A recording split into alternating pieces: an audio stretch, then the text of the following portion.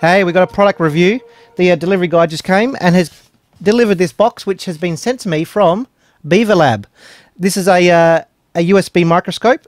Um, they've got a Kickstarter coming up, and apparently this is uh, the world's first IPS, which I guess refers to the uh, screen. Uh, detachable Wi-Fi digital microscope. It's called the uh, Darwin M2, and they said, "Hey, you want to have a look at it?" And I said, "Sure thing. It could be useful for some electronics work, and we'll look at some other things like uh, stuff that you look under microscopes, like leaves and um, whatever we can find in the garden, and uh, see how this thing performs. Because I'm intrigued by the uh, the form factor.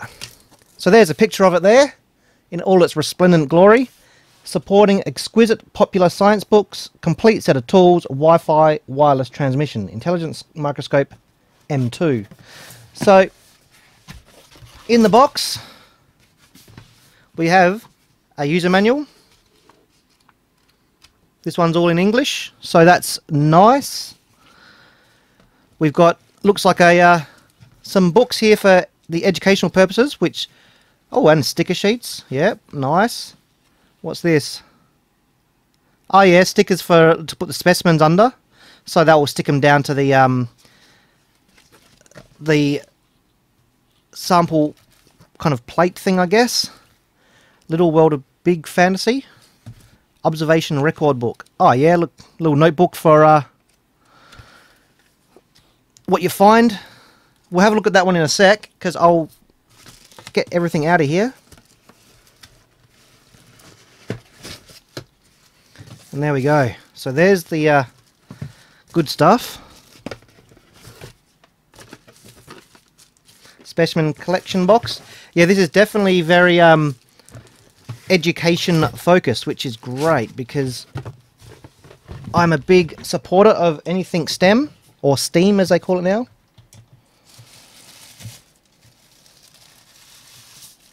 Look at that. That's actually quite nice. Nice matte white finish. USB port in the back. Charging and power and whatnot, I guess.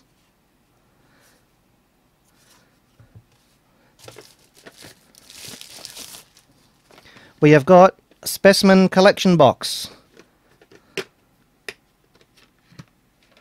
With all little compartments inside. Nicely done. Labels. Bunch of labels.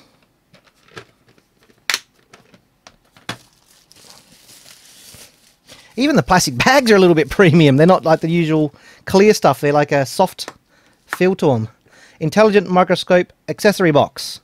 Ah, yes. So we got a uh, calibration card with all the really fine markings so you can check your zoom and all that. We got some tweezers, a uh, eyedropper, got some uh, microscope slides in there and all the slide covers, and then we got the microscope microscope slides. What's that? We got one, two, three, four, five by four. So we've got 20 slides there, and of course, USB charger, and I wonder what that is. USB cable. Are these some sort of magnety things? I'm sure we'll find out what they are soon. What they're used for. And then Petri dishes, specimen bottles, usual sciencey stuff. But last but not least, this is the whole the whole thing, the uh, the good part. We've got the screen, and then under this cap is a microscope in there with the focus. Oh you can see it coming out there, hopefully, just in there. Nice and smooth.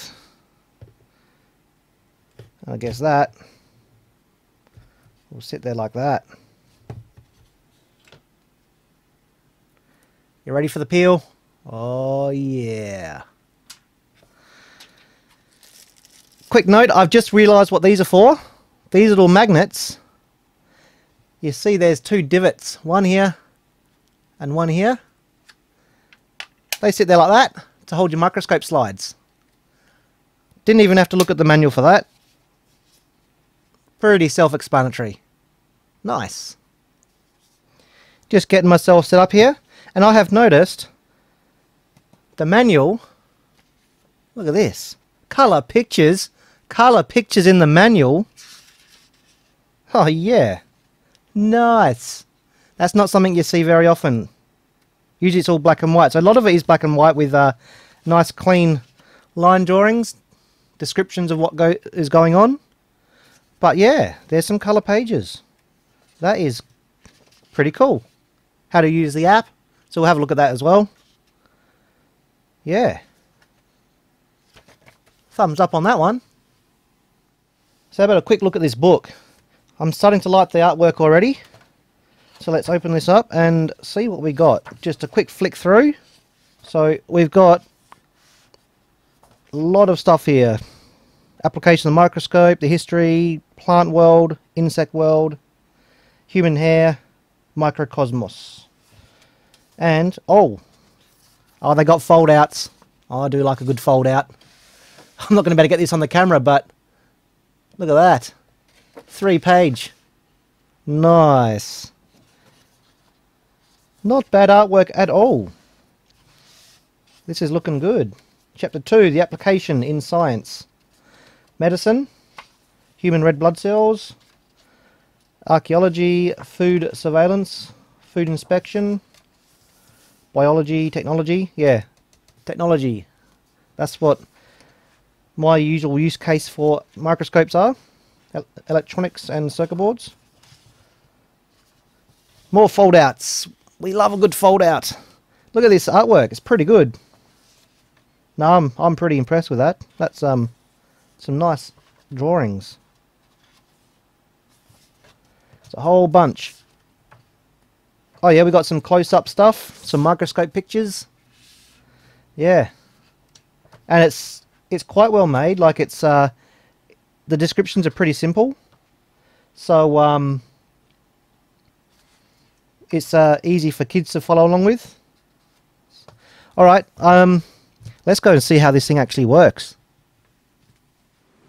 All right, we're outside here in the garden. Uh, they told me um, that you don't need to use the whole base. You can actually hand hold this thing. So we'll give it a go. I've got a um, an ivy leaf here.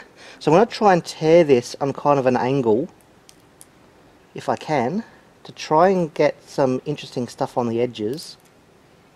Let's see if we can see something there. So I'm going to put it on the table. We'll turn this thing on. And there is the edge of our leaf.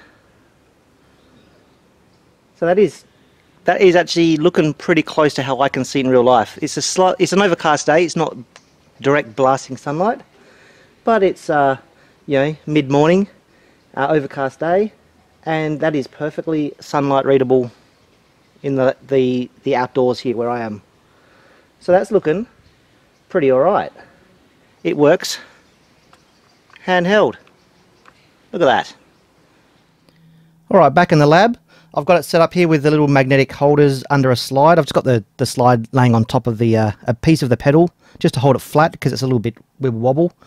And they'll give us good focus. And you can see on the screen there, it's showing up quite well. So we can get it right in focus, just about there and that's looking pretty good. Now, we can't go down to the cellular level. Um, that's a whole nother class of instrument. But um, yeah, you can actually see the structure of the uh, the petal there. It's all the, uh, the, kind of the hairs or the uh, the bumps and ridges and stuff on there, and uh, we can make the uh, background different colors. So it's that optical staining sort of thing they were talking about. So you can get different effects just by turning a knob on the back there. So we're on uh, blue now we can go up to, we've got purple, like a violet colour,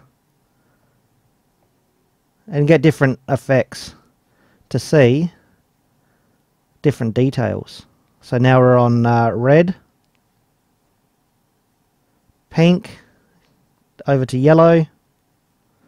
So that seems to work alright. Now it's going to be a bit, uh, the, the colour of flower I have available to me is just an orange uh, petal. So yeah, depending on the uh, the color and the transparency of your um, of your sample, you get different results. So uh, yeah, you just have to play with the settings. You can get brighter and see I can turn that down darker. Automatic gain comes into effect. So that's on the brightest on white. Now, of course, they um, they have different functions. Like you can take video. So that's now recording in real time. I don't know if you can see up there on the screen there. That's recording onto the SD card. So you can you know move things around and uh, have a look around at things and make a little video. Press again. Recording succeeded. You can take photos. So that's I've just taken a photo there by pressing the uh, camera. But on the back you've got um, zoom, which I believe is a digital zoom but you can kind of zoom in a bit there and uh, see some more detail on the screen because you've got the uh, you can move this thing up and down and you focus it to give you the kind of the optical zoom and then you've got digital to make the image larger on the screen of course uh, digital zoom isn't like a, a zoom that will bring you more detail but it can enlarge things so you can see a bit more like you know, without moving your head closer to the screen and uh, on the other side we have the brightness setting for the, the lights that are on the top facing down. On the base, it's the knobs on the side for the light coming back up. So if we turn that right up, that's on the maximum now. And we can turn it right down just to get just the backlighting. So you can play with that until you get the best image quality and you can see the details you want. So let's look at this app. So at the moment I've just got a chip on the screen there, just a UV erasable EEPROM. You can see the memory area, logic area, and then the uh, bond wires. So you want to download the app from the App Store or from Google Play or whatever. So I've got it downloaded here. Just scan the uh, QR code in the manual and you'll find it there on your relevant App Store.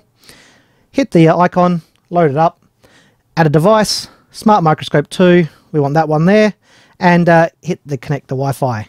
It'll do a scan, and there it is there, DDL M2 serial number. That's the one we want. It'll check the quality of the internet connection. It will tell us there's no internet. That's fine because our microscope is not connected to the internet. But once it pops up, once it's found that, there we go. Always connect. And it's connected without internet.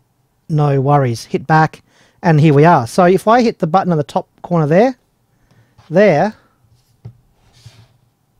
is our live feed. Nice. So if I uh, move the chip around, there is a slight lag, but that's just a function of the Wi-Fi. That's not a deficiency of the uh, microscope at all. Works quite well. The uh, image quality is quite good. Uh, it streams nicely. I haven't noticed any like deterioration in image quality when it's close to the uh, scope. So um, yeah, it's working quite well. Uh, we got it. We can take a photo. So that's just taking a photo to the to the internal memory, and we can do the video as well. These replicate the buttons on the um, on the device, which do the same job. It would be nice if we had some extra controls, uh, maybe for adjusting the, the LED brightness and the, the digital zoom. But um, yeah, maybe in a future app we could get that future update. Anyway, we'll head back, and then in the uh, in the home screen, I guess down the bottom here, we've got personal album. That's what's on the phone, what we've downloaded, and over here in the system album, we've got the videos and pictures. So in the videos, these are some videos we've taken before. So there's a circuit board there. And uh, I'll move it around a bit. So there you go. Looking at different things. If we go back, we can then see the pictures. So there's a picture we just took. Not a problem at all. And there's that circuit board. You can see the quality of the, uh, the solder joins there if you want to use this for um, inspection. And also there's that, uh, that petal from the flower that we um, we're having a look at. All the texture and stuff and the, uh, the torn edge. So yeah, oh yeah, another one there. That's um, just some printing on a sticker where they do the uh, all the dots like the inkjet sort of printing. You can see the mixture of the colours, bit of gold leaf there. So yeah, it's got quite a good detail. So the app works great it's it's responsive. It's um yeah, fully functional. Um, there's a few little things like I would probably put this uh, Wi-Fi connection icon as a small one, and then the uh, actual live view as a large icon, just so that when kids are using it, then you know they're going to touch this and then oh no, what's going on? Um, just to make it more child friendly. But um, yeah, the app does work. Thumbs up. All right, so what do I think of this thing after all of that? I think it's pretty good, actually. It does what it's advertised. It um it works quite well. It's um yeah, it's fun to use. Besides a few little you know firmware quirks, the buttons sometimes are a little bit funny, or the uh, the app could do with some uh, extra features. Besides that, it does actually work. It's it's it does what it says on the tin. It's um yeah a good little scope uh, microscope. So yeah, I think I'm going to give this a good solid thumbs up. If you've got a kid who's um you know looking like they want to get into some of the STEM stuff, well, this could be a good bet. Um, my my son, he's already begging me to get this video finished so he can get his hands on it and play with it. So uh, yeah, it's um it'll be fantastic for um, a kid who wants to start you know exploring the world around them. So yeah, thumbs up. Hope you found that informative, somewhat interesting, and we'll see you in the next one.